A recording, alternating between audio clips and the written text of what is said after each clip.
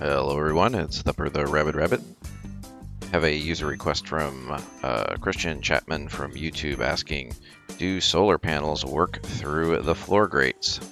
See here, your standard floor grates you can put into a frame uh, in your ceiling. You usually see these above furnaces and things like that, but you probably also notice that they, uh, a bit, bit of light through.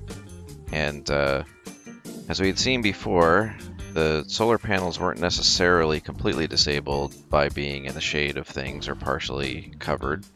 So this is a perfectly valid question. So we're going to throw down some solar panels into the light here. Maybe one that's more perfectly aligned with the shadow.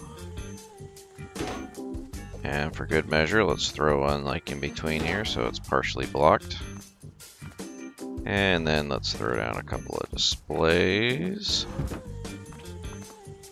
Put these in pass-through mode so they'll show us how much power we're getting here. And, oh, zero. Also zero. Also zero.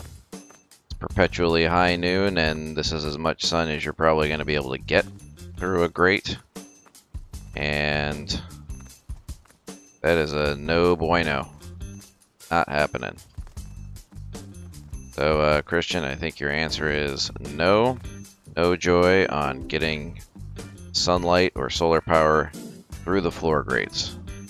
Would have been an awesome idea if you could hide away your solar farm inside somewhere, but not happening. So there you go. No solar panel through the floor grates. Good luck, and don't suck.